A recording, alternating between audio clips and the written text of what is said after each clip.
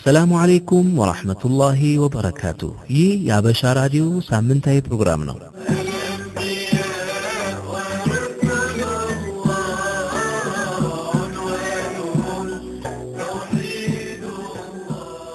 አሰላሙ አለይኩም ወራህመቱላሂ ወበረካቱ። ይህ የሀበሻ ሬዲዮ ሳምንታዊ ፕሮግራም ነው።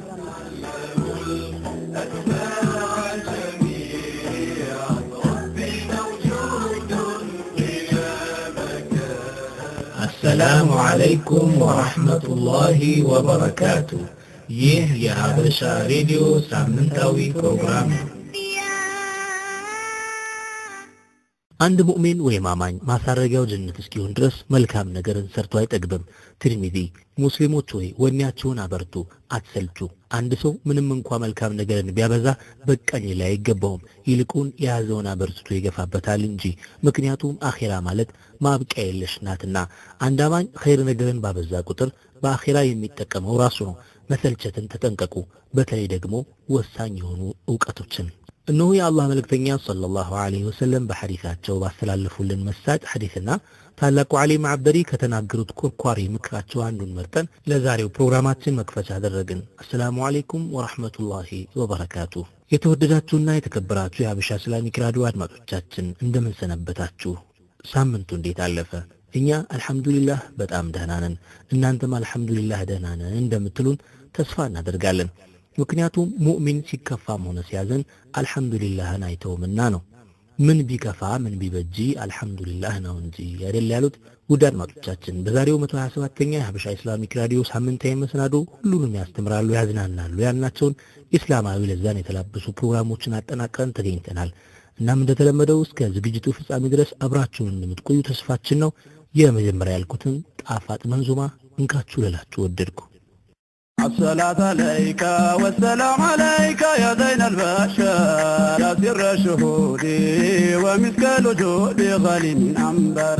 الصلاة عليك والسلام عليك يا زين البشر. يا سر الشهود ومسك الوجود غالي من عنبر. الصلاة عليك يا زين البشر. السلام عليك يا زين البشر. جمعة مشاشلة. يا زين البشر.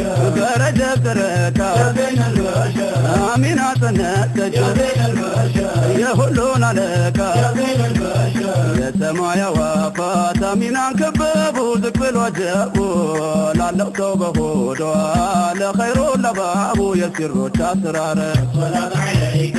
والسلام عليك.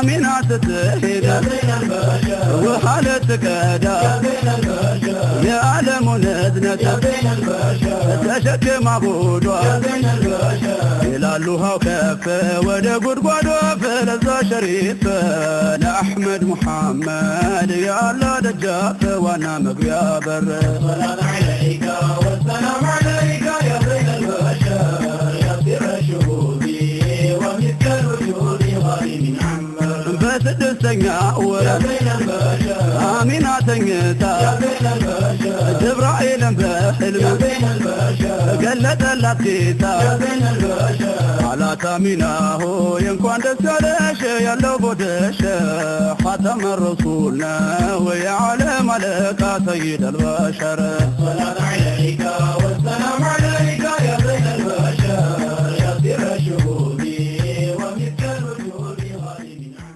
በኢስላም አስተምህሮት መሰረት ዒልመ ዲን የዒባዳና የኢማን መሰረት ነው። ጅህልና ደግሞ የብዙ መጥፎ ተግባራት ምንጭ ነው። ጅህልና በትንሽም ይሁን በብዛት ሲወሰድ እንደሚገድል መርዝ ነው።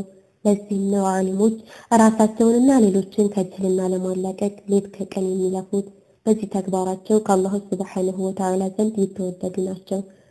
እነዚህ ዓሊሞች አላሁ ተዓላ ነገ በጀነት ጸጋ ሊያስደስታቸውና ከፍተኛ ክብርንም ሊሰጣቸው ቃል የገባላቸው ናቸው። ስለዚህ ሁሉም ሙስሊም እነዚህን ብርቅ የአላህ ባሮች ሊያከብራቸውና ሊንከባከባቸው ትምህርታቸውንም አንገቱን ዝቅ አድርጎ ሊከታተልና ሊቀበል ይገባል። ሁሌም ለዓሊሞች ክብር መስጠት ልቅና ሲሆን እነሱን መናቅ ደግሞ የትንሽነት ምልክት ነው። አላሁ ተዓላ የዑለሞች ወዳጅ ያደርገን ዘንድ እየተማጸንኩ ሁሌም ሳይሰለችው ከዕልማቸው ባህር ወደኛ ለማፍሰስ ከጎናችን የተሰለፉት ዶክተር ሼክ አቡበከር ሱሌይማን ዛሬም እንደተለመደው ከእምነታችን ጓዳ መሰናዷችን በልዩ ደርሳቸው መጥተዋል። ወደ ሼክ ደርስ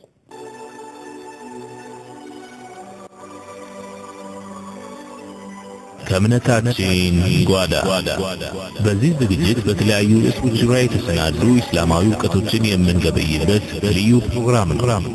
ከእምነታችን ጓዳ الحمد لله رب العالمين وصلى الله وسلم على سيدنا محمد وعلى آله وصحبه الطيبين الطاهرين ومن تبعهم بإحسان إلى يوم الدين. اللهم ارزقنا الإخلاص في القول والعمل.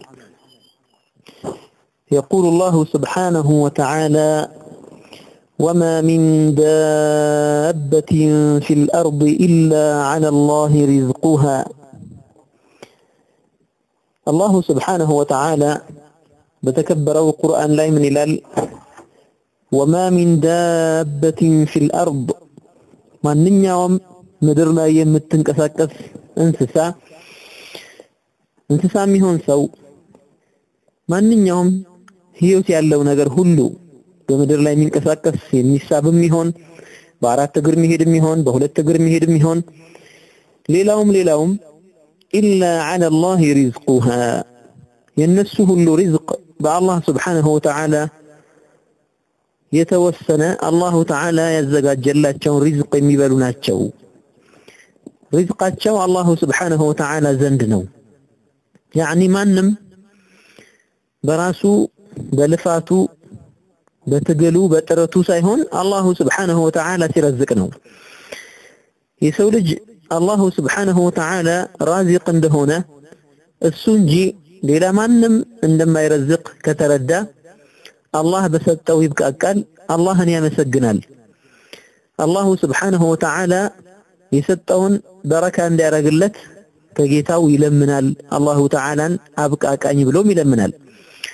ይህ መብቃቃት የሚባለው አላህ በሰጠው ነገር ተብቃቅቶ መኖር የሚባለው ነገር ትልቅ የሆነ ከንዝ፣ ትልቅ የሆነ ድል በሀብት ነው።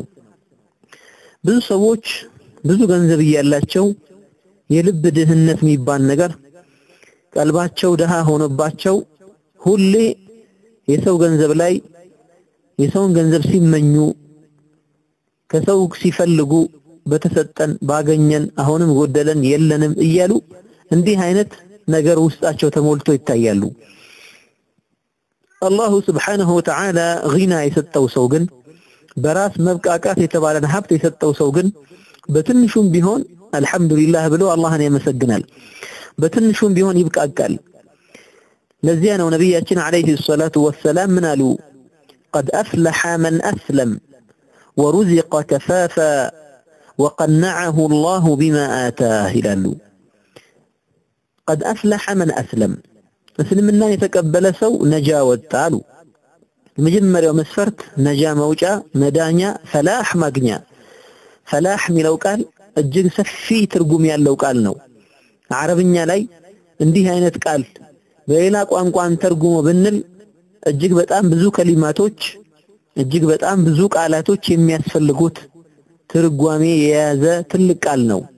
በአጭሩ ሲተረጉሙት ሰዓደቱ ዱንያ ወልአኺራ እንደማለት ነው። የዱንያም የአኺራም ደስታ የሁለቱም ሀገር እድል የሁለቱም ሀገር ስኬት ማለት ነው። ይህንን ስኬት አገኘ ይላሉ ነቢያችን ሰለላሁ ዐለይሂ ወሰለም። ከሚፈራው ዳነ፣ የሚፈልገውን ነገር ሁሉ አገኘ፣ የሁለቱንም ሀገር እድልን ተጎናጸፈ። ምን ያደረገ ሰው? መን አስለመ እስልምናን የተቀበለ ሰው። እስልምና ሚፍታህ ነው። እስልምና የሁሉም ነገር ቁልፍ ነው። ኢማን የሁሉም ነገር መክፈቻው ነው። የፈላህ ሁሉ፣ የነጃህ ሁሉ፣ የመዳን፣ የደስታ፣ የብልጽግና፣ የእርካታ፣ የስኬት ቁልፉ እስልምና ነው፣ ኢማን ነው። እስልምናን የያዘ ሰው ነጃ ወጣ አሉ። ከዚያስ ምን አሉ? ወሩዚቀ ከፋፈን. እንዲሁም ደግሞ በሚበቃው ያክል ቀድር የተረዘቀ ሰው ለሓጃው የሚሆንበት ያክል። ወቀነዐሁ አላሁ ቢማ አታህ. አላህ በሰጠው ያብቃቃው ደግሞ። በሰጠው ነገር አልሐምዱሊላህ ብሎ እኔ እኮ አላህ ሰጥቶኛል፣ ይሄው አብቃቅቶኛል፣ ከልመና የሰው ፊት ከማይ የሰው ደጅ ከምጠና ወደ ሰው እጄን ከምዘረጋ አብቃቅቶኛል፣ አልሐምዱሊላህ የሚበቃኝ ነገር አለኝ፣ የምኖርበት ቤት አለኝ፣ የራሱም ይሁን ኪራይ ቤትም ይሁን ብቻ አግኝቶ የሚከፍለው ነገር እስካለው ድረስ የምበላው ነገር አለኝ። ጠዋት ማታ አልሐምዱሊላህ አልራብም። ብዙ ሰዎች ተርበው የሚያድሩ አሉ። እኔን ግን አላህ አብቃቅቶኛል። የምለብሰውም አለኝ አልሐምዱሊላህ። የግድ መቶ ልብስ፣ ሰማንያ ልብስ፣ ሀምሳ ልብስ ሊኖረኝ ሸርጥ አይደለም። ኢነማ ባለኝ አውረቴ የምሸፍንበት ነገር አለኝ ብሎ አልሐምዱሊላህ ብሎ አላህን የሚያመሰግን ከሆነ ይሄ ሰው አፍላሐ ይላሉ ነቢያችን ሰለላሁ ዐለይሂ ወሰለም። ፈላህ ወጣ፣ ነጃ ወጣ። ያን ያላገኘ ሰውሳ ኸጠር ላይ ነው ማለት ነው።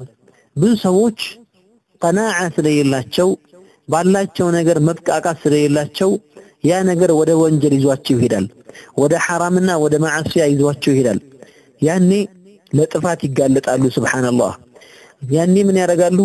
ያላቸው ነገር አልበቃ ብሏቸው ወይ ወደ ሐራም ይሄዳሉ፣ ወይ ወደ ስርቆት ይሄዳሉ፣ ወይ ደግሞ አላህ ያልፈቀደው ሙዓመላ ውስጥ ይገቡና በማጭበርበርና ሰዎችን በመዋሸት ወልዒያዝ ቢላህ የሰውን ሐቅ ለመውሰድ ወይም ደግሞ አላህ ያልፈቀደው ሙዓመላ አድርጎ በአጭሩ መክበር የሚባል ነገር ይታያቸውና ወደዚያ ውስጥ ገብተው ራሳቸውን አደጋ ላይ ሲጥሉ ይታያሉ። ሱብሃንአላህ። ብዙ ሰዎች ቀናዓ ስለሌላቸው መስአላ ውስጥ ይገባሉ፣ ልመና ውስጥ ይገባሉ። ልመና ደግሞ የድህነትን በር ይከፍታል። ነቢያችን አለይሂ ሰላቱ ወሰላም እንዳስጠነቀቁት ማለት ነው። የልመናን በር የከፈተ ሰው አላህ የድህነትን በር ይከፍትበታል እንዳሉት መለመን፣ መጠየቅ፣ እንዲህ አርጉልኝ፣ እንዲህ ጎደለኝ፣ እንዲህ አነሰኝ ማለት ሲጀምር ያኔ ድህነትን ሊከፈትበትና ወልዒያዙ ቢላህ ከዚያ በኋላ ምን ይሆናል? የድህነት በር ተከፍቶ አይዘጋበትም። ሁሌ ድህነት ነው የሚታየው። ነቢያችን ሰለላሁ ዐለይሂ ወሰለም ቀናዓ እንዲኖረን ሐስ አድርገዋል፣ ቅስቀሳ አድርገውልናል። ሰጪዎች እንጂ ለማኞች እንዳንሆን አልየዱ ልዑልያ ኸይሩን ሚን አልየድ ሱፍላ ብለዋል። ከላይ የሚሆነው እጅ ከታች ከሚሆነው እጅ ይበልጣል አሉ። ያዕኒ የሰጪ እጅ ከተቀባይ እጅ ይሻላል አሉ።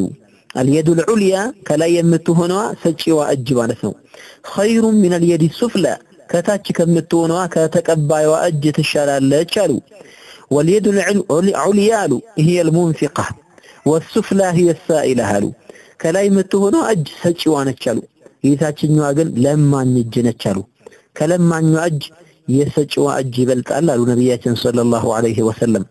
سنزي سوى اللو تبقى أكتو ካለው ነገር ላይ እንዲያውም አቋዳሽ አካፋይ ሊሆን ይገባል እንጂ ሁሌ ዝያዳን፣ ሁሌ ልመናን፣ ሁሌ ጭማሪ መለመን መጠየቅ የለበትም።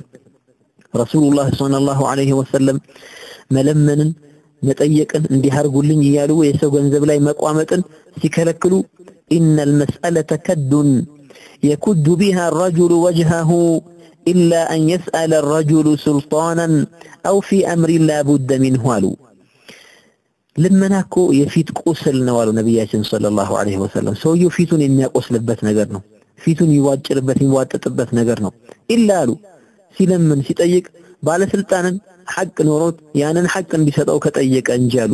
ወይም ደግሞ ላቡድ የሆነ ነገር የማይቀር ነገር ሆኖበት ከለመነ ከጠየቀ እንጂ ናም የተራብና የተቸገረኝ በላው ያጣ ሄዶ ስጡኝ ብሎ ቢለምን ይሄ ወንጀል አይሆንበትም ባለ ሐጃ ነውና።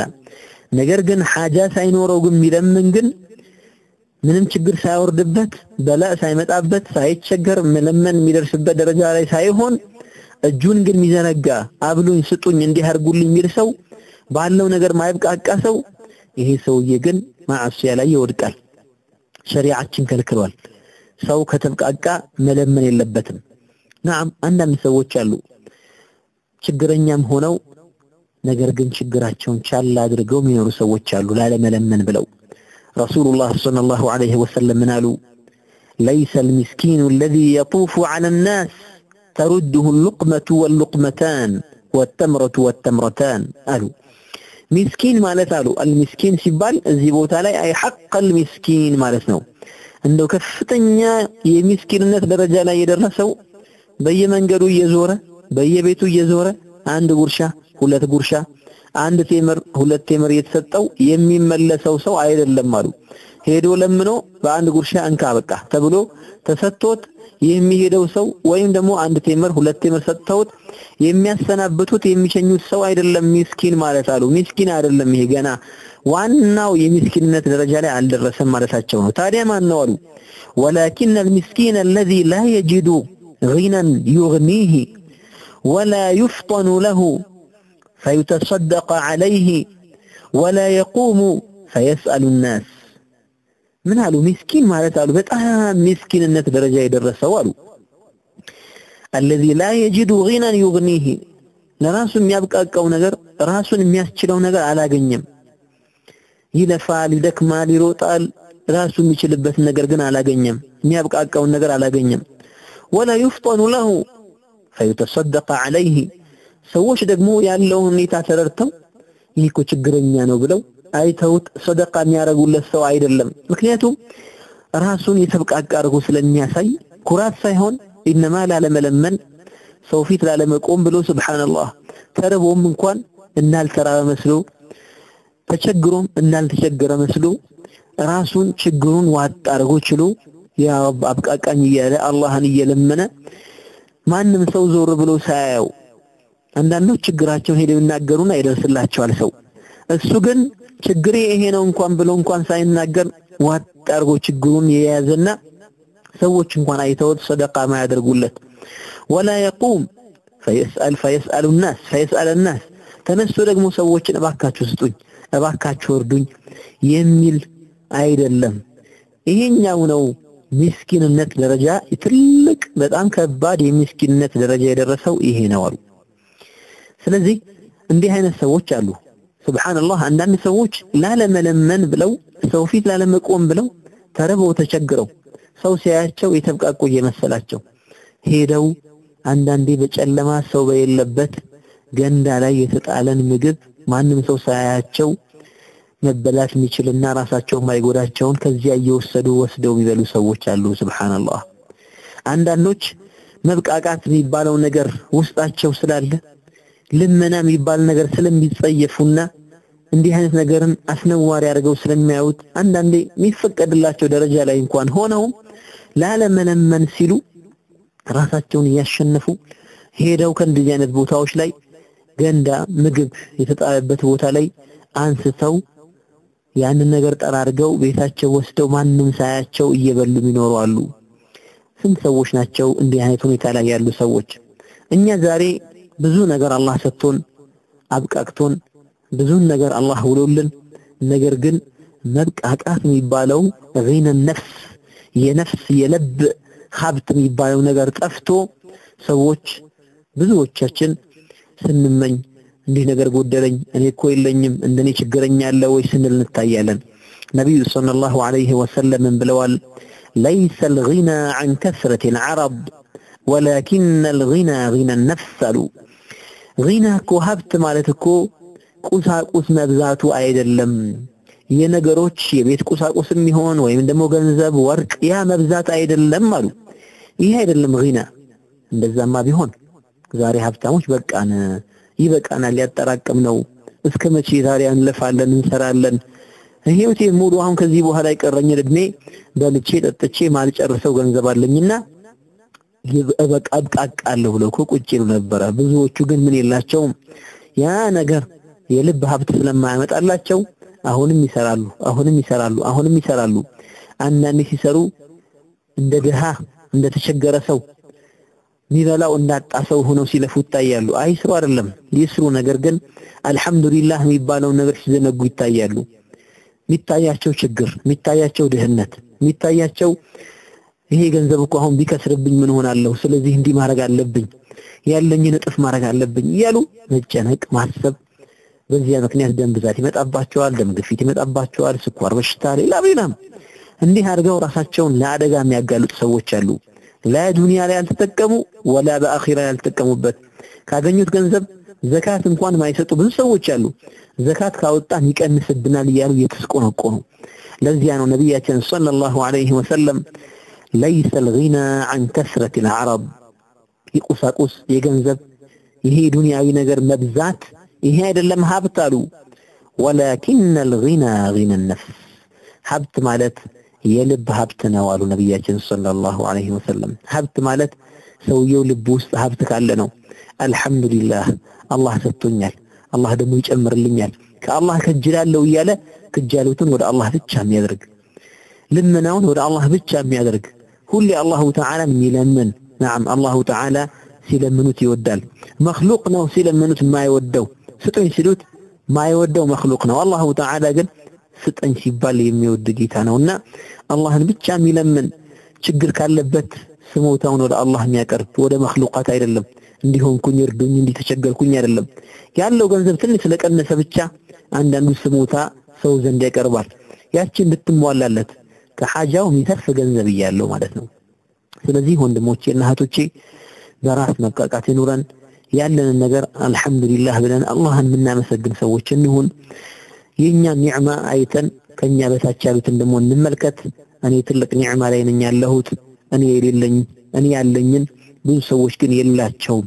እኔ ብዙ ኒዕማ አለኝ ብዙ ሰዎች ግን ያጡት አሉ ብለን ሁሌ እያመሰገንን ባለን እየተብቃቃን እንኖር አላሁ ተዓላ መብቃቃቱን ይስጠን ወሰላሙ አለይኩም ወረሕመቱላሂ ወበረካቱሁ وكن راضيا لا تسخطن لشدة كما الشوك لا يعطي الرحيق ولا العنب إذا المرء لم يرضى بما ربه وهب فلن يغنه مال وإن زاد ما كسب فكن راضيا ترضي الإله بأمره فدرب الرضا نور ونفس الرضا ذهب. وكن راضيا لا تسخطن لشدة كما الشوك لا يعطي الرحيق ولا العنب.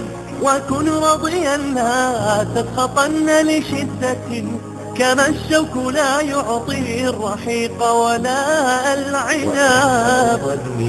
في الإله وشكره فتلك معاني الخير خط بها الأدب إليك غصونا دانيات قطوفها ومنبع خيرات يفيض وقد نضب.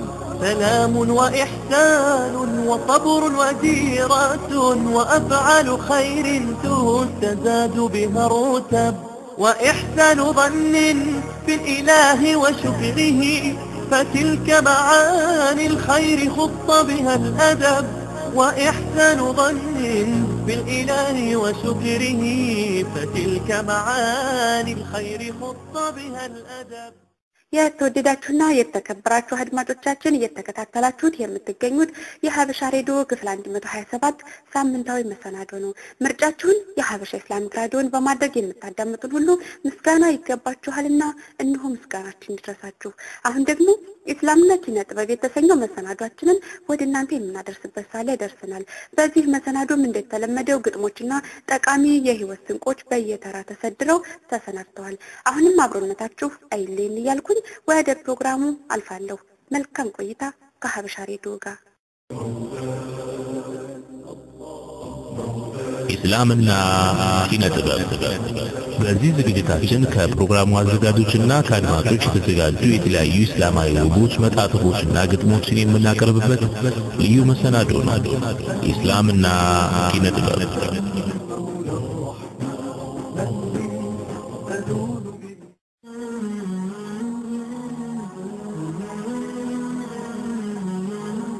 ሀበሺ ዲኔን የተማርኩ ቆሎ ቆርጥሜ በዱዓ ብቻ ምሽር ከመሜ ማልሸነገል ለሶፋ ላልጋ በመደቤ ላይ ሌሊት ማነጋ ሀበሽዬ ተግቶ መኖርን ከንብ ተምሬ ምተጋ ምጥር የሙንከር ድንኳን ምመነጣጥር ከላሚ ቁጥብ የማልቀባጥር ቢላል ከለሬ ያሽሞነሞነኝ የሱና ከርቤ ጭሶ ያጠነኝ ሀበሽዬ ነኝ። በጧት የገባው ከአብደሪ ጓዳ ላይ ቀሪው ቀኔ የምሰናዳ ጽልመት ደምስሼ ቀን የምቀዳ በቪላው ቦታ ድንኳን ቀልሼ በስጋው ቦታ በሶ ለውሼ ትብብር የማቅ ተጉልጋም ብሼ ለዛሬ ማረፍ ያላባተለኝ የጥፋት መዳፍ ያልጎነተለኝ ሀበሽይ ነኝ። መጤ ቢገፋኝ የማልወድቅለት በርትቶ ክንዴ ተድንጋይ ካለት ሀበሽነቴ ፈልቶ ያሞቀኝ የዱንያ ፍቅር ያልነቀነቀኝ ግራውን ትቼ የምገኝ በቀኝ በስሜ ብቻ ጠላት ሚርቀኝ ሀበሽይ ነኝ። በለጋ ዕድሜ ተውሒድ ተግቼ ከአቅጣጫ ቦታ ጌታን አጥርቼ ነቢዬን መወድ ነፍሴን ሰውቼ ገደል ማልገባ ሜዳውን ትቼ ልክ እንደ ሻማ ራሴን ማላቀልጥ ለሌላ ብርቼ እንደ ሳሙናው ማሙቼ ማላልቅ ሌላን አጽድቼ እንደ ሙሸቢሕ ኩፍርን ሳልቀባ እንደ ጃሂሉ በንከን ሳልሰባ ተውሒዴን ይዤ ለሕዴ ምገባ ሓበሽይ ነኝ።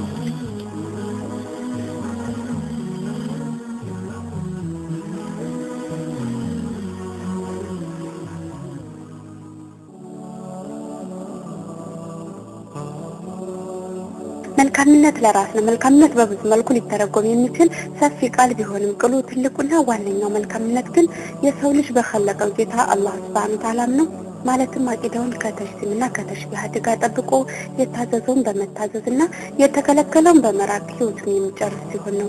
ይሄ ነው መልካም ሰው። ይሄ ነው መልካምነት። መልካምነት ነፃ ያወጣል። መልካምነት ከቀብር ብቸኝነት ገላግሎ በዙሪያ ብዙ አስደሳች ነገሮች እንዲገቡ ያደርጋል። በአንድ ወቅት ሰይዱና ኢሳ አለይሂ ሰላም እና ሙእሚን ባልደረቦቻቸው በአንድ መካነ መቃብር በኩል ሲያልፉ ሰይዱና ኢሳ ጋር ያሉት ጀማዎች ይሄ ቀብር ምንኛ ጠባብ ነው አሉ።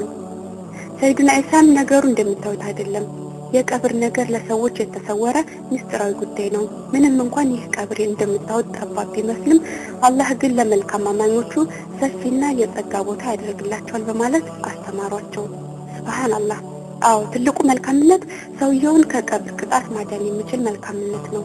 አላህ እኔንም እናንተንም መልካም ሰዎች አድርገን ዱዓዬ ነው።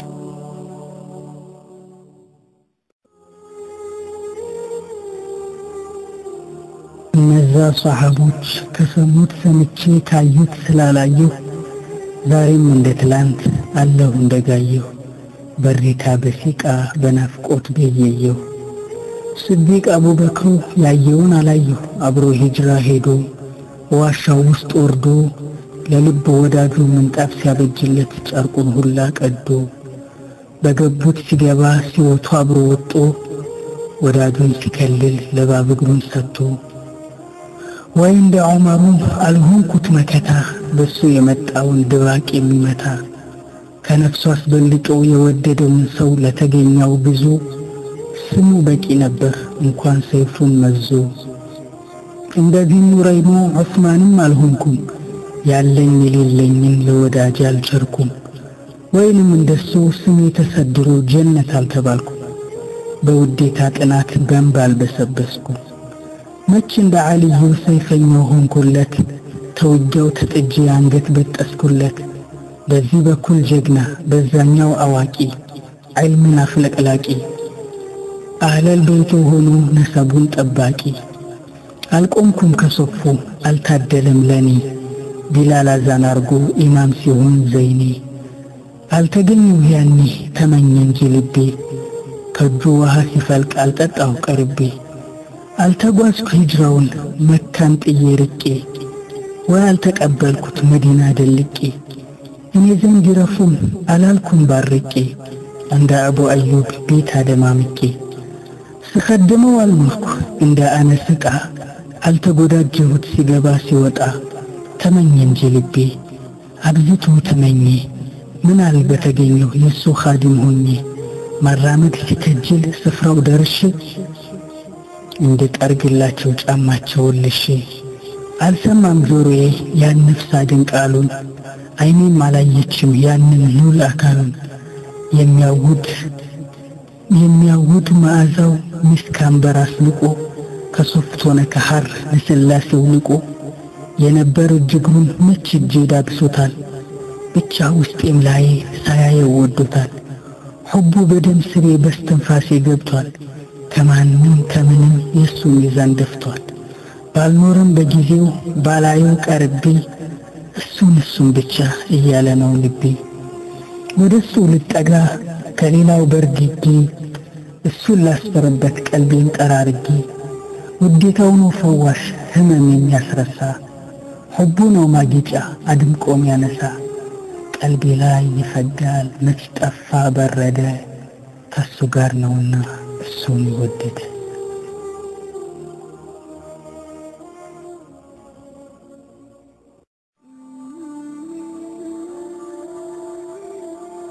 ከጥሩ ጥሩ አባባሎች መካከል አንዱ አትምከር ይመከርብሃል የሚለው አባባል ነው። እውነት ነው።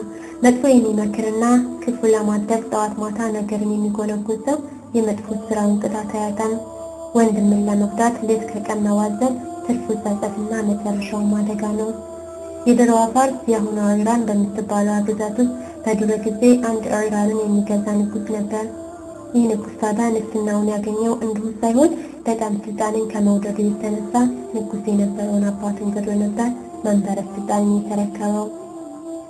የሚገርመው ግን አባቱ የልጁን ስግብግብነትና ሲበዛ ስልጣን ወዳድነትን ስለሚያውቅና ምናልባትም በዚህ ምክንያት ልጁ ሊገለው እንደሚችል ቀድሞ ስለተረዳ እርሱም እንደ ልጁ ወጥመዱን አዘጋጅቶ ነበር።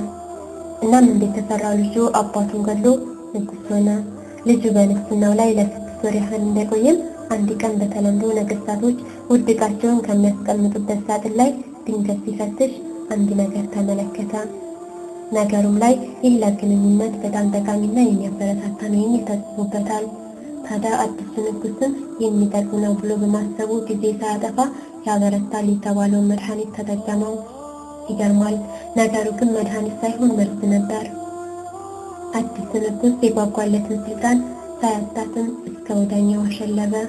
አትምከር ይመከርብሃል ብሏቸዋል። ይሄ ነው። አላህ ይጠብቀን።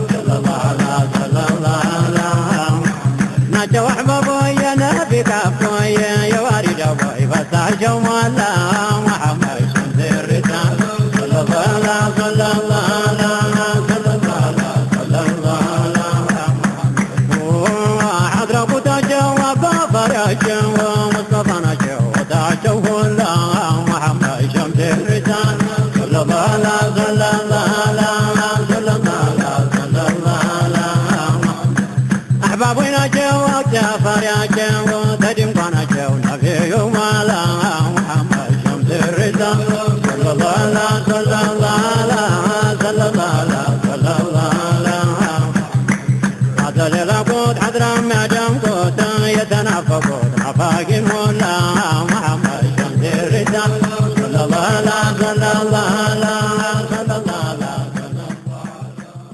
የሀበሻ ራዲዮን ምርጫቸው በማድረግ በየሳምንቱ ሳይሰለቹ ከሚከታተሉን ክቡራን ተከታታዮቻችን በኩል በጎና ገንቢ አስተያየቶች እንዲሁም ለተወዳጁ ዶክተር ሼክ አቡበከር እንድናደርስላቸው ጥያቄዎቻቸውን በድምፅና በጽሁፍ ያደርሱናል። አላህ ይባርካቸው። ታዲያኛም ስለ በጎ አስተያየታቸው ምስጋናችንን እየቸርን መልስ የሚሹ ጥያቄዎቻችንን ደግሞ ወደ ዶክተር እናስተላልፋለን። እነሆ በዛሬው የአድማጮች መድረክ ፕሮግራማችንም ጥያቄዎች ከነ መልሳቸው ተሰናድተው ቀርበዋል። በቀጥታ ወደ ጥያቄና መልሱ አመራችኋለሁ። መልካም ጊዜ፣ መልካም ቆይታ። የአድማጮች መድረክ በአድማጮች መድረክ ፕሮግራማችን በተለያዩ ማህበራዊ ድረገጾች በኩል ከውድ አድማጮቻችን የተጠየቁ ጥያቄዎችን ብቃት ባላቸው ዓሊሞች ፈትዋ እንዲሰጥባቸው በማድረግ መልሰን ወደ አድማጮች የምናደርስበት ልዩ ፕሮግራም ነው። የአድማጮች መድረክ ዶክተር እንደተለመደው እንግዲህ ዛሬም የተለያዩ ጥያቄዎች ከአድማጮች ወደኛ ተልከዋል። ከፊሎቹ በድምፅ ከፊሎቹ ደግሞ በጽሁፍ ናቸው። የድምፁን ላስቀድምላችሁ እና መልስ ስጡበት። ቢስሚላህ አሰላሙ አለይኩም ወረህመቱላሂ ወበረካቱ። ውድና የተከበራችሁ የሀበሻ ጀግና አዘጋጆች እንዲሁም መሸሮቻችን ባረካለ ፊኩም ይጠብቃችሁ። ጥያቄ ነበረኝ። አንደኛ ጥያቄ አሰሬ በምትሳፈር ሰዓት አንዳንድ ጊዜ አስር አስር ብር አንዳንድ ጊዜ ደግሞ አምስት አምስት ብር ትሰጠኛለች። በምትሰጠኝ ሰዓት እየተቀበልኩኝ ካርድ ይገዛበታለሁ። ስም ስትሰጠኝ እራሳቸው ላይ እየጠራረገች ነው የምትሰጠኝ። አጋጣሚ ስከታተላት ነው ያየኋት እየጠራረገች መሆኑን። እኔም እየተቀበል ካርድ ይገዛበታለሁ። ሁለተኛ ጥያቄ ደግሞ አዲስ ዓመት እንደገባ ለሁለት ወር ያክል ማተም የሚባል ቦታ አለ። እዛ እየሄደች እዛ እየሄዱ ቁርአን ይቀራል ምናምን ትላለች። ምግብም ደግሞ ያመጣሉ። ያን ምግብ እኔም አንድ ላይ ይመገባለኝ። ሶስተኛ ጥያቄ ደግሞ ሶላት በሚሰግዱ ሰዓት የትም ቦታ ተሳፋሪ ሳይሆኑ ሁልጊዜም ከቤት ሆነው አስሩን ዙሁርን ከአሱር ጋር መቅሪብን ደግሞ ከኢሻ ጋር ነው የሚሰግዱት ማለት ነው። እሱም ስጅድ በሚወርዱበት ጊዜ ግንባራቸውን ስጅድ ላይ አይደለም የሚያሳርፉት የሆነች ክብ ነገር ጠፍጣፋ ነገር አለች እና እሷ ጋር ነው የሚያሳርፉት ግንባራቸውን በሚሰግዱ ሰዓት ማለት ነው። ለምንድን ነው እንደኛ የማትሰግጂው ስትለኝ ሴትዮዋ አይ እኔ አልሰግድም እኔ በሰዓት ነው የምሰግደው ብዬ አይቻልም ብዬ እምቢ አልኳት። ይሄ እንዴት ይታያል? በረካለሁ ፊኩም ወሰላሙ አለይኩም ወራህመቱላሂ ወበረካቱ። አሁን የተነሱት ሁሉም ነጥቦች የሺዓዎች ምልክቶች ናቸው። የመጀመሪያው ገንዘብ ስትሰጥሽ ጭንቅላቷ ላይ ጠራርጋ ወይም ደግሞ አባብሳ የሚሉት ያው የነሱ ልምድ ነገር ነው የሚሆነው። አንቺ በሐላል መልኩ እስከሰጠች ድረስ በፍቃዷ በፍላጎቷ እስከሰጠችሽ መጠቀም ትችያለሽ። ያንን ገንዘብ የሰጠችሽን ገንዘብ ካርድም ግዥበት፣ ሌላም ነገርም አድርጊበት የራስሽ ሚልክ ስለሆነ ማለት ነው። ሶላት ሲሰግዱ ያለምንም ጉዞ ሳይሳፈሩም እንዲሁም ደግሞ አገር ቤትም ሆነው ተቀማጭም ሆነው ዙሁርና ዐስርን አንድ ላይ መግሪብና ዒሻን አንድ ላይ የሚሰግዱትም ሺዓዎች ናቸው። ይህም የእነሱ መዝሀብ ነው። ከአህሉ ሱና ወል ጀማዓ የወጣ ነው። እኛ አህሉ ሱና ወል ጀማዓ ለሰፈር ጉዞ ላይ ስንሆን ወይም ደግሞ አንዳንድ ዑዝሮች ሸሪዓዊ ምክንያት ተብሎ የሚጠቀሱ አሉ። መጠር ለምሳሌ ዝናብ ካለ በጀማዓ ለሚሰግዱ ሰዎች ጀማዓ የማድረግ ፍቃድ አላቸው። ምክንያቶች እስከሌሉ ድረስ ግን በአንድ ወቅት ላይ ሌላኛውን ወቅት ተቅዲም አድርገን መስገድ አይቻልም ያለ ምክንያት የሚል ነው የአህሉ ሱና ወል ጀማዓ መዝሀብ። ይሄ የሺዓዎች አካሄድ ነው። አንቺም ልክ እንዳልሽው በወቅቱ ስገጂ እንጂ እነሱ እንደሚያደርጉት አታድርጊ። ሱጁድ ሲያደርጉ ግንባራቸው ላይ የሚያስቀምጧት ቁርስ ክብ ነገር ጠፍጣፋ ነገር እሱም ያው የነሱ መለያው ነው። በእነሱ ቤት በእነሱ ግምትና ዛዕም መሬት ተነጅሳለች ሁሳይን የተገደሉ ጊዜ ያሉ ነው የሚያምኑትና እዚያ ላይ መስገድ እንደማይበቃ አድርገው ነው የሚያስቡት። ያቺ ድንጋይ ስትቀር እነሱ ይዘዋት የሚሄዱት ያን ካጡ ሶፍት ነገር ያደርጋሉ፣ ወይም የሆነ ምንጣፍ ምንድነው ስሙ የሆነ منديل ነገር አድርገው እዚያ ላይ ይሰግዳሉ እንደ መሐረብ ነገር። ይሄ የሺዓዎች የተጣመመ መንገድ ነው። እኛ أهل السنة والجماعة ከዚህ ነገር እየራቅን ነን። አልሐምዱሊላህ አንቺም እነሱ የሚሉትን ነገር አትቀበይ። በተማርሽውና እየተማርሽው ባለው መልኩ ስሪ ተግባራዊ የምታረጊው የተማርሽውን የ أهل السنة و ال መንገድ መሆን ያለበት። ተጽዕኖ እንዳያሳድሩብሽ ተጠንቀቂ። አሰላሙ አለይኩም ወንድማችን፣ እንዴት ናችሁ? አማን ናችሁ? አልሐምዱሊላህ እኛ በጣም ደህና ነን። ሰላም ናችሁ? ሀበሻ ጀግኖች ግሩፕ አባላት በአጠቃላይ እንዲሁም ፕሮግራሙ የሚከታተሉት ሁሉ በአጠቃላይ አሰላሙ አለይኩም ወራህመቱላሂ ተዓላ ወበረካቱ ብያለሁ እና በመቀጠል ጥያቄ ነበረኝ ለሼህ ለሼህ አቡበክር ሱለይማን እንድታስመልስልኝ ነው እና እንደሚመለሱልኝም እርግጠኛ ነኝ ኢንሻአላህ እና በአላሁ ተዓላ ፍቃድ ምን ጥያቄዎች? ሁለት ናቸው። አንደኛው ማለት ነው ሰውየው ባለትዳር ነው እና አሁን ሴቶች ብዙ ጊዜ ያለ አይደለ በትንሿ በትልቋ ይቀየማሉ።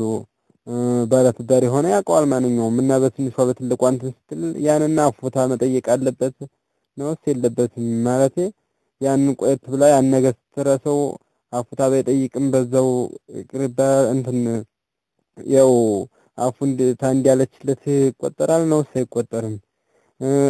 በትንሿ በትልቋ በተቀየመ ቁጥር ነውስ አፉታ መጠየቅ ይኖርበታል ወይ? እሷም እንደዛው ተሆነ መጠየቅ ይኖርባታል ወይ ነው። ሁለተኛው ደግሞ እንትን ልብስ ሰፊ ያለው አይደለ እና አሁን እነሱ ቁርጥራጩን ልብስ አለ አይደለ ሲሰፉ የሚተርፈውን ያንን እንትን ማለት ይኖርባቸዋል ነውስ የለባቸውም? ማለቴ ያ የተረፈውን ማለት ነው አሁን ረስቶትም የሚቀር ይኖራል። ያለበለዛ አይፈልጉትም ብሎ በቀርቡ የሚያስበውን ቁርጥራጭ እንትን ቢልስ ያን እንዴት ነው ማድረግ ያለበት? ነውሳ ፉታት አልጠየቀ ይቻልለትም ያንን ነገር የቀረውን ያው እሳቱ የሚያቃጥለው እና ደግሞ ለአንዳንድ ሰው የሚጠቀምበት ሊሰጥ ይችላል። እና ያንን እንዴት ነው ማድረግ ያለበት? ስለዚህ እንዲብራራልን ነው ማለት ሁሉም ሀራም ላይ እንዳንወድቅ ኢንሻአላህ እንትን ብለን ነው። እና በተረፈ ናቸው ጥያቄዎች። አሰላሙ አለይኩም ወራህመቱላሂ ተዓላ ወበረካቱ። አንድ ሰው ከባለቤቱ ጋር በትንንሽ ነገሮች ሊገጫጭ ይችላል።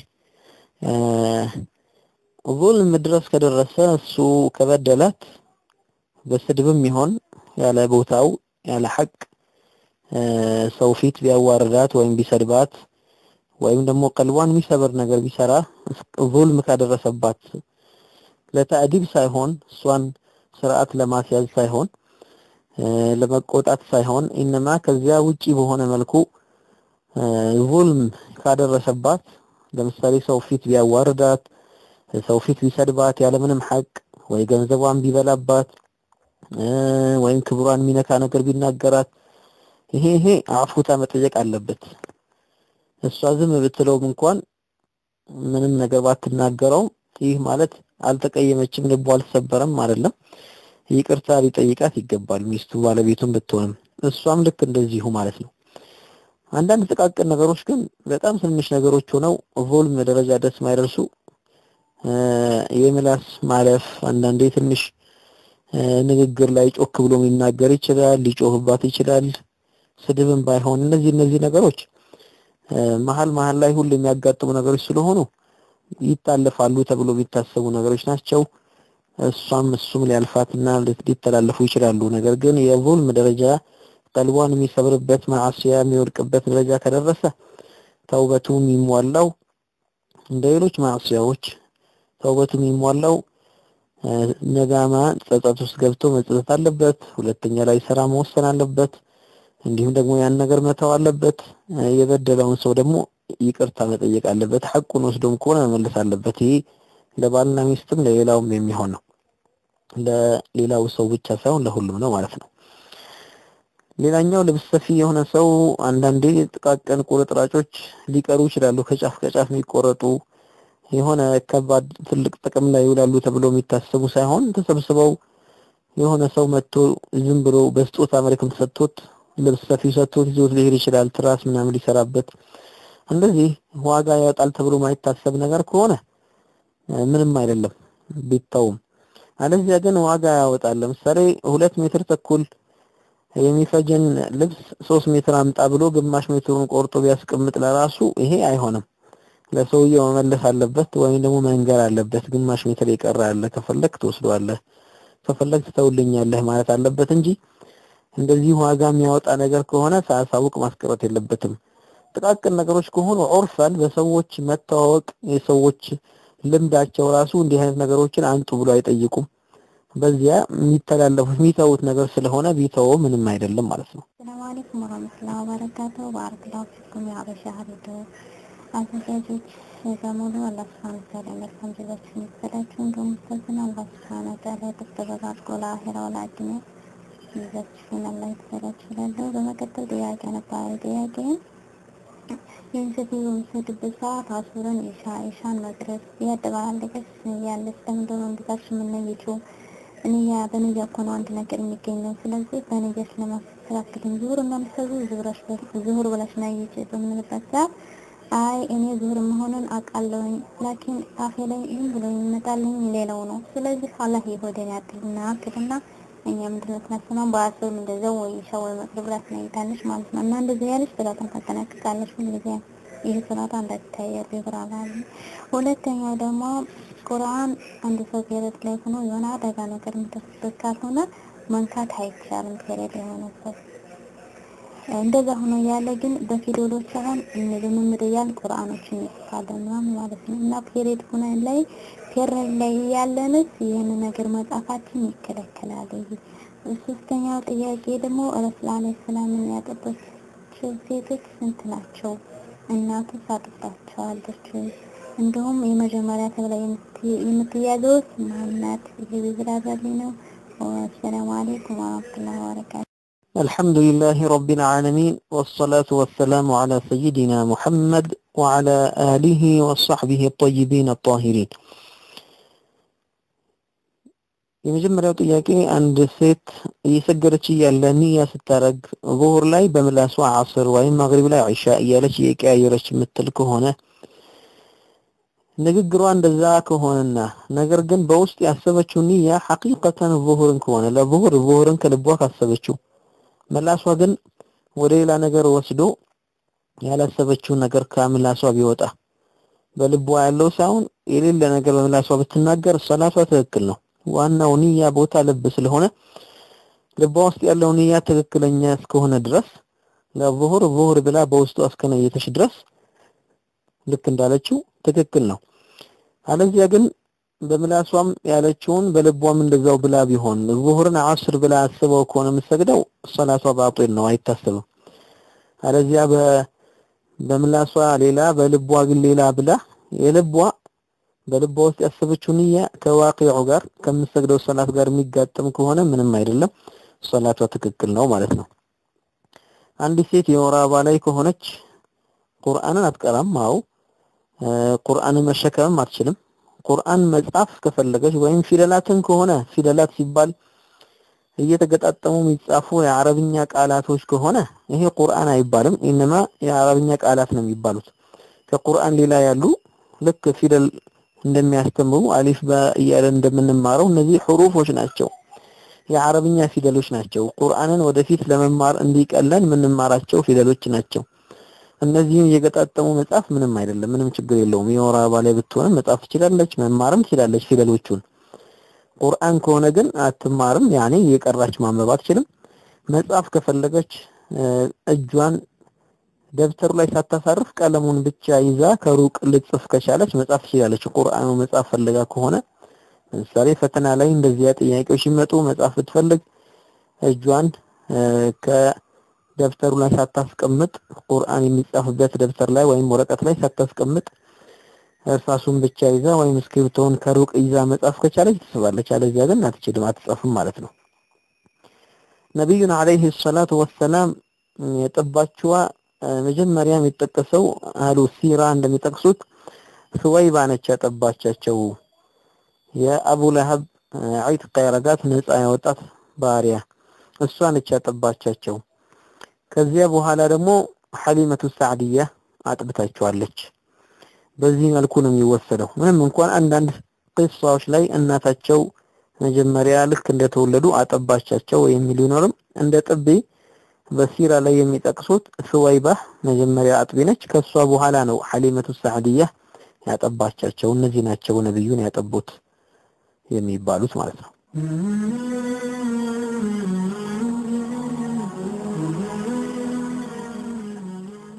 ተከታዩ ደግሞ በጽሁፍ የተላኩልን ጥያቄዎች ናቸው። ጥያቄዎቹን እንዲህ አነባቸዋለሁ። የመጀመሪያው ጥያቄ እንዲህ ይላል። አሰላሙ አለይኩም ወራህመቱላሂ ወበረካቱ። ውድና ድንቅ የሆናችሁ የሀበሻ ራዲዮ አዘጋጆች በሙሉ እንዴት ናችሁልን? እንዲሁም ሼኻችን ዶክተር ሼክ አቡበከር አላህ ይጠብቅልን፣ መሰሎቻችሁንም አላህ ያብዛልን። በመቀጠል ጥያቄ ነበረኝ። ጥያቄም አንደኛ አንድ ሴት ልጅ ጥፍሯን በማጥቆሪያ ብትቀባ በሸሪዓችን እንዴት ይታያል? እዚህ ጋር ግልጽ እንዲሆንልኝ የፈለኩት ማጥቆሪያን ነው። ሁለተኛ ባልና ሚስት ውዱእ ይፈታታሉ ወይስ አይፈታቱም?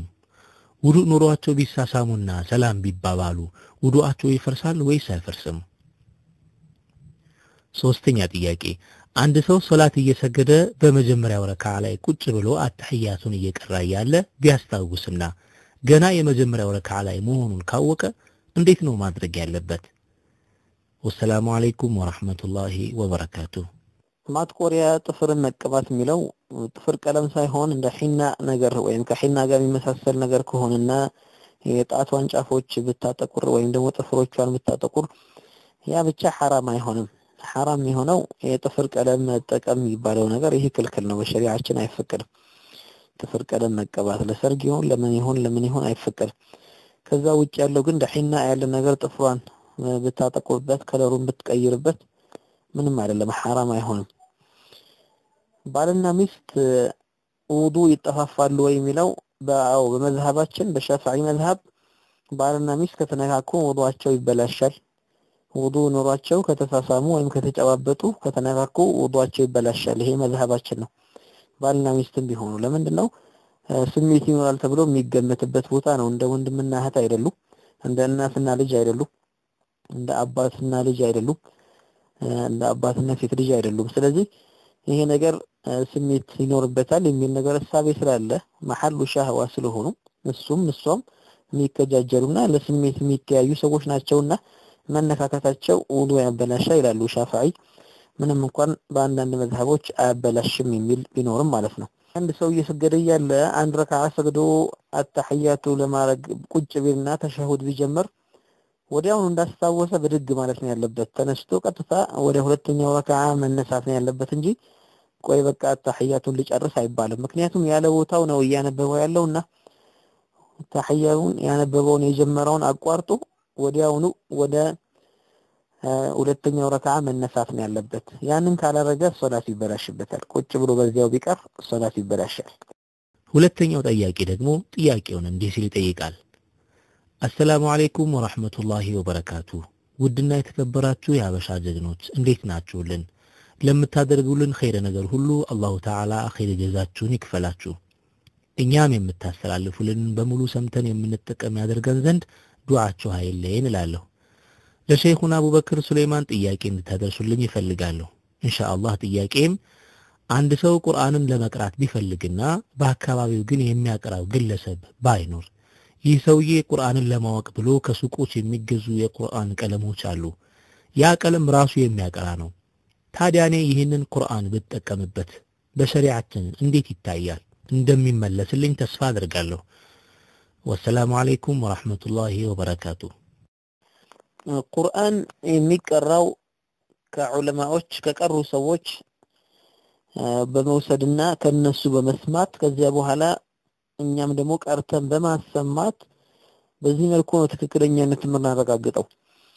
አለዚያ ግን ከኦዲዮ መሰለን ከተቀዳ ነገር እየሰማን ወይም ደግሞ በከለር የሚያሳይ መሳሪያ ነገሮች ካሉ ያንን እየተከታተልን ቁርአን ቀራም ማለት አይቻልም። እንደ ተለቂም አይወሰድም፣ ተምረናልም አይባልም። ስለዚህ ከዑለማዎች ወይም ከቀሩ ሰዎች አንደበት ቁርአንን ከተማሩ ሰዎች አንደበት ነው መውሰድ ያለብን። እስከዚያ ግን እነሱን አግኝቼ እስከማነብ ድረስ ከምቀራ ቁርአንን በተለቂ እስከምወስድ ድረስ ራሴን ላዘጋጅ ላለማምድ ብሎ አንዳንድ በሰማቸው ፊደሎችን እያየ ራሱን እየገጣጠመ እንደ መቅራት ሳይሆን እነማ ራሱን ቢያዘጋጅ ይሄ በዚህ መልኩ እንዲህ ነው የሚነበበው፣ ይሄ እንደዚህ ነው የሚነበበው የሚለውን እየገጣጠመ ሬዲዮም ቢሆን እየሰማ ወይም ካሴት እየሰማ ራሱን ተሕዲር እያደረገ እያዘጋጀ ከሆነ ምን ለማድረግ የሚያስተምረው ሰው ሲያገኝ ሄዶ ሊቀራ ራሱን እያዘጋጀ ከሆነ ምንም አይደለም። ይሄ ግን ቁርአን ቀርቷል ሳይሆን የሚባለው ቁርአን ለመቅራት እየተዘጋጀ ነው ነው የሚባለው። ቀጣዩ ጥያቄ ደግሞ እንዲህ ይላል። السلام عليكم ورحمة الله وبركاته። ውድ የሀበሻ ኢስላሚክ ራዲዮ አዘጋጆች በሙሉ እንዴት ናችሁ? ለሼክ አቡበክር ሱሌማን ረጅም ሐያት እያልኩ ወደ ጥያቄ ያልፋለሁ። አንድ ሰው ሚስቱ ጋር ተጣልቶ በንዴት አንድ ጊዜ ሁለት ጊዜ ሳይል ሰባት ጊዜ ፈትችሻለሁ ካለ ይህ ሰው ኒካሁን ጨርሷል ነው የሚባለው ወይስ አልጨረሰም? ጥያቄ እንደሚመለስ ተስፋ አደርጋለሁ። ባረከላሁ ፊኩም። ወሰላሙ አለይኩም ወራህመቱላሂ ወበረካቱ። አንድ ሰው ባለቤቱን በሰባት ፈትቼሻለሁ ቢል በአንድ ወይም በሁለት ሳይሆን በሰባት ፈትቼሻለሁ ቢላት በሶስት ትፈታለች። ከዛ የተጨመረው አራቱ ለግው ይባላል። ምንም ማዕና የሌለው ነገር ይባላል። በሶስት እንደተፈታች ነው። ኒካሁን ጨርሷል። ከዚህ በኋላ መልሼሻለሁ ብሎ መለስ አይችልም ማለት ነው። እድሉም በአንዴ ተጠቅሞበታል። አይን የፈለኩት አንድ ነው ቢልም እንኳን አይሆንም። በሰባት ካለ ይሄ ስህተት ነው አባባሉ ከመሰረቱ። ሶስቱ ግን ይታሰብበታል። በሶስት እንደተፈታች ትሆናለች። ቀጣዩ ጠያቂያችን ደግሞ እንዲህ ይላል። አሰላሙ አለይኩም ጥያቄ ነበረኝ። ከካፊር ሰው ጋር ቁማር መጫወት በሸሪዓችን እንዴት ይታያል? ሁለተኛ ጥያቄ ሙስሊም እህትህን ለትዳር ፈልገሃት ቀርበህ ማውራት ትችላለህ ወይስ አትችልም? ሶስተኛ ጥያቄ አንዳንድ ሰዎች አህባሽ እያሉ ስም ከሃይማኖት ጋር የሚያስጠጉት ለምንድን ነው? ወሰላሙ አለይኩም ወራህመቱላሂ ወበረካቱ። ቁማር ከካፊር ጋር የሚሆን ከሌሎች ጋር መጫወት ሐራም ነው። ሸሪዓችን ከልክሎታል። ቁማርን ከሙስሊም ጋር መጫወት አይቻልም፣ ከካፊሮች ጋር መጫወት አይቻልም። መይሲር የተባለው አላሁ ተዓላ በቁርአን ላይ የገለጸው ኢነመል ኸምሩ ወልመይሲሩ ወልአንሳብ ወልአዝላሙ ርጅሱም ሚን ዐመል ሸይጣን ፈጅተኒቡሁ ብሎ አላህ ያዘዘን እንድንርቀው እንድንከለከለው ያዘዘን ተውት ራቁት ብሎ ያለን ከነዚህ ነገሮች አንዱ መይሲር የሚለው ነው። መይሲር ማለት ቁማር ማለት ነው።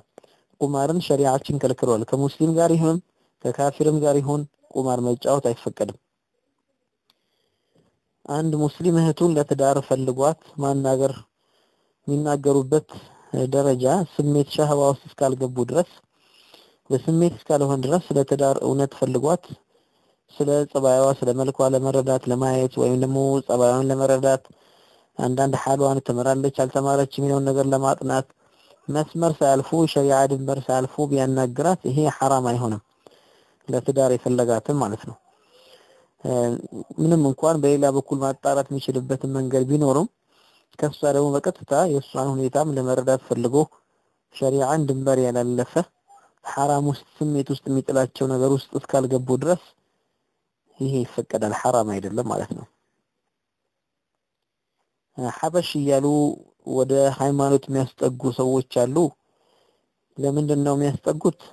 እነሱ በራሳቸው ስህተት የሆነ ግንዛቤ ሐበሽ ወይም አሕባሽ የሚለውን ነገር እንደ ዲን አድርገው ስለሚቆጥሩት ነው። ከመሰረቱ ሐበሽይ ማለት የሐበሻ ሰው ማለት ነው። ሐበሽይ ማለት የሐበሻ ሼክ ለማለት ነው። ሼክ አብዱላህ አልሐበሽይን እሳቸው ደግሞ ከሐበሻ ታላላቅ ዑለማዎች ውስጥ አንዱ ነበሩ ረሂመሁላሁ ተዓላ። የእሳቸው ተማሪዎችን ነው አሕባሽ በሚል የሚሰይሟቸው። የሼክ አብዱላህ መንሃጅ የአህሉ ሱና ወልጀማዓ መንሃጅ ነው። ሁሉም ዑለማ የነበሩበትና እስካሁንም ያሉበት ወደፊትም የሚኖሩበት መንገድ ነው። ከዚያ የወጣ አንድም መንገድ የላቸውም። አልሐምዱሊላህ ይህንን ከእሳቸው ጋር የተማረ እሳቸው ዘንድ ቀርቦ የተማረና የቀሰመን አሕባሽ እያሉ ለማጥላላት ይሞክሩ። ነገር ግን አንድም ሸሪዓዊ ማስረጃ የላቸውም የሚነቅፉበት። ያው ጠላትን ጠላት የሚሰራው ስራ የማጥላላትና ጥላሸት የመቀባት ይህንን እንደ ሃይማኖት አድርጎ የማስመሰል የሚሰራው ስራ ነው። ምንም ፋይዳ ያገኝበትም ይከስርበታል እንጂ ጠላት። እነሱም ደግሞ የአህሉል ሐቅ የእውነት ባለቤቶች ደግሞ በምንም ስያሜ ቢሰየሙ ሐቅ ላይ እስካሉ ድረስ ደግሞ ምንም አይጎዱ። አልሐምዱሊላህ።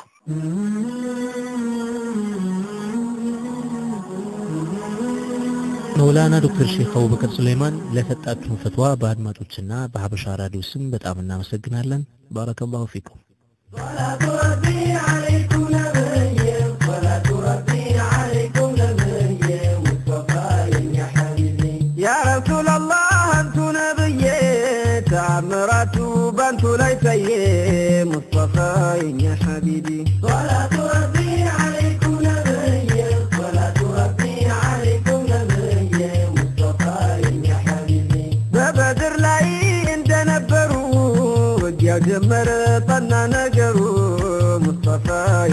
عبيدي صلاة ربي عليكم نبي صلاة ربي عليكم نبي مصطفى يا حبيبي. كصحابته كتستفوت كتدرب برنبي لكود مصطفى يا حبيبي. صلاة ربي عليكم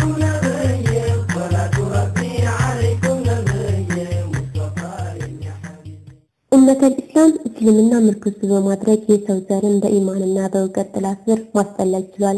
ፍጡራን ፍጡራንን ከማምለክ አውጥቶ አምሳያ የሌለውን አንድ አላሁ ሱብሓነሁ ወተዓላን ብቻ ወደ ማምለክ ነጻነት አሸጋግሯል። የሰው ዘርን ከዚህ ዓለም ጠባብና ጊዜያዊ ኑሮ ወደ ቀጣዩ ዓለም ማራኪና ዘላለማዊ ሕይወት ከሌሎች እምነቶች ጭቆና ወደ ኢስላም ፍትህ ማሸጋገር የቻለው ኢስላም ነው። ህዝበ ሙስሊሙ በደከመ ወቅት ኃይልን ያጎናጸፈው እስልምና ነው። የነጻነታችን ጓል የመኖራችን ጥፍጥና አው ኢስላም ነው። ያለ ኢስላም መኖር ከንቱነት ነው። አላሁ ተዓላ ይህንን ትልቅ ኒዕማ ስለሰጠን እያመሰገንኩ ወደ ዕለቱ ከምርጥ ትውልዶች አምባ መሰናዷችን ላሸጋግራችሁ። ከምርጥ ትውልዶች አምባ። በዚህ መሰናዷችን በተለያዩ የታሪክ አምዶች አርአያ የሆኑና አብረቅራቂ አሰራቸውን አክተው ያለፉ ምርጥና ታላላቅ የኢስላም ፈርጦችን ገድል የምንዘክርበት ልዩ ፕሮግራም ከምርጥ ትውልዶች አምባ።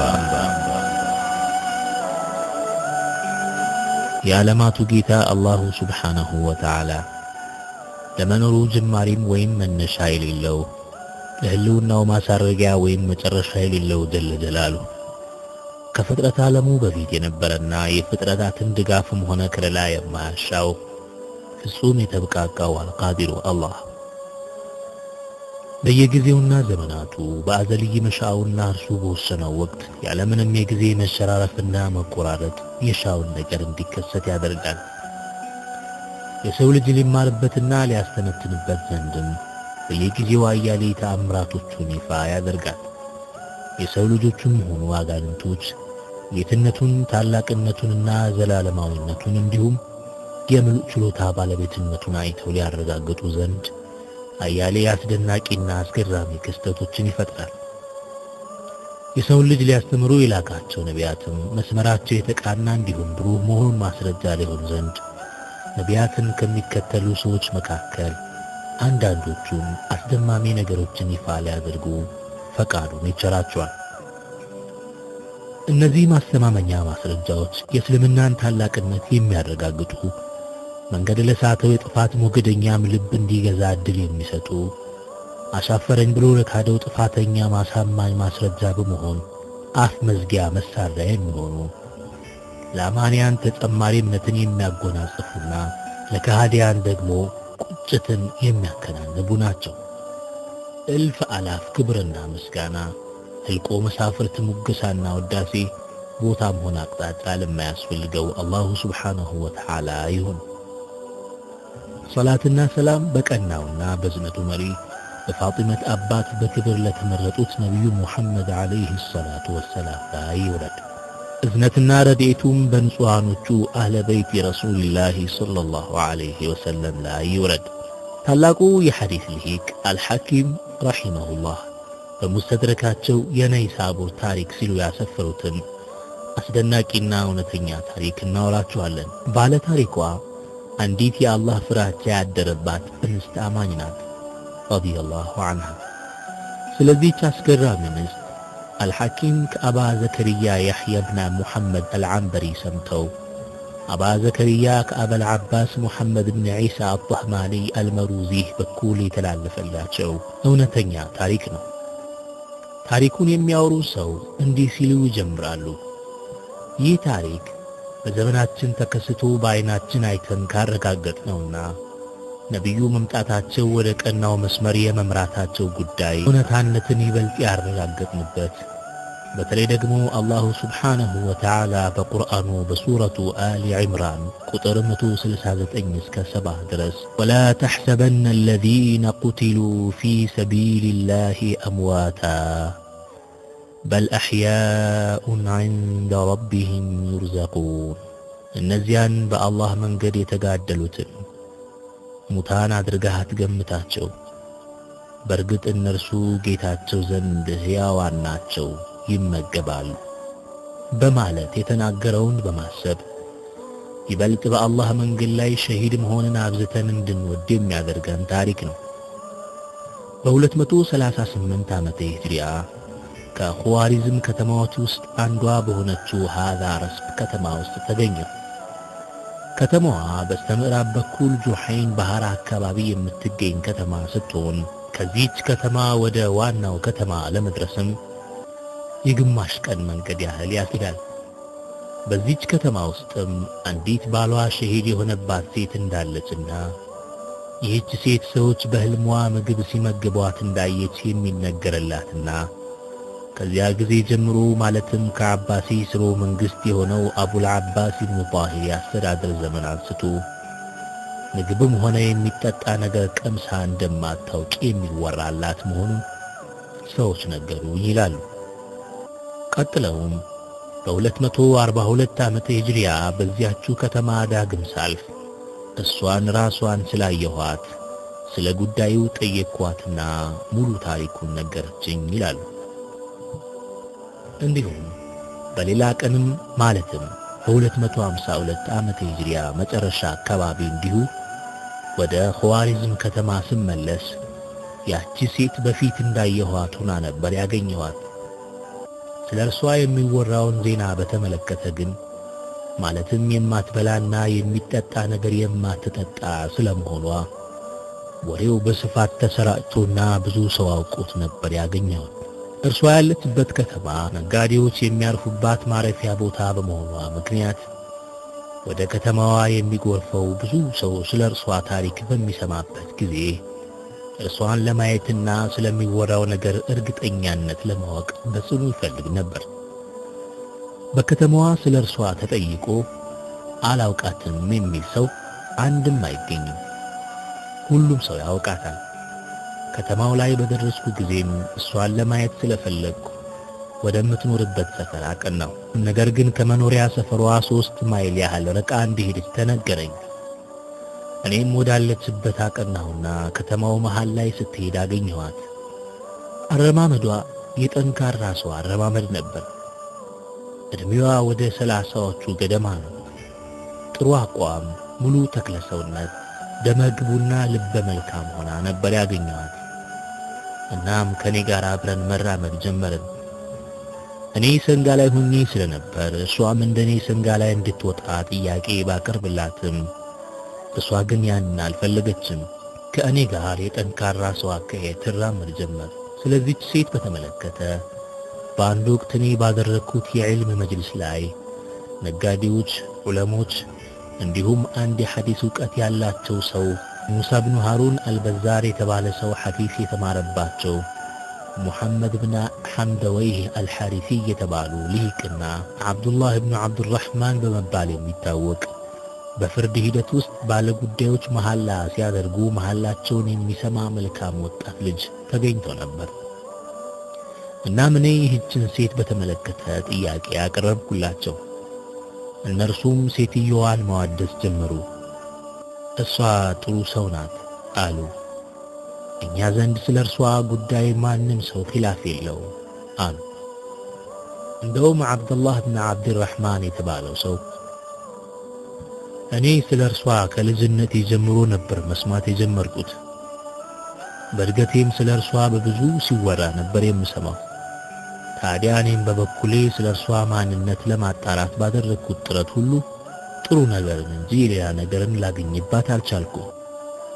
ምግብ የማትመገብና ፈሳሽ ነገሮችን እንደማትጠቀም የምትናገረውም ቅጥፈት ሆኖ አላገኘሁትም። ጉዳዩንም ሸፋፍና ለማለፍ ስትሞክር አላየዋትም። እንደውም አንድ በኹዋሪዝም አካባቢ የሚሰራ የመንግስት ባለስልጣን እንዲህ ብሏል። ስለሚወራው ነገር ለማረጋገጥ ሲባል ባለስልጣኖቹ እንድትመጣ በማስደረግ ለወርና ለሁለት ወር ያህል እርሷን የሚከታተሉ ሰዎችን መድበው ሁኔታዋን ይከታተሉ ነበር። ነገር ግን ምንም አይነት ምግብና ፈሳሽ ነገር ስትወስድ አላዩአትም። ይህም ብቻ አይደለም፣ ሽንት ወይም ሰገራ ስትጸዳዳም አልተመለከቱም። ባለስልጣናቱ ይህንን ያዩ ጊዜም አከበሯት፣ ተንከባከቧት። የልብስ ስጦታም በማበርከት እንድትሄድ ፈቀዱላት በማለት ተናግሯል። ሁሉም ሰው የዚህች ሴት ዜና እውነተኝነትን እየተቀባበለ ሲያወራ እኔም ስለ እርሷ ለማወቅ ጉጉት ስላደረብኝ ስሟ ማን እንደሚባልና ስለ ታሪኳ እንድትነግረኝ ጠየቅኳት። እርሷም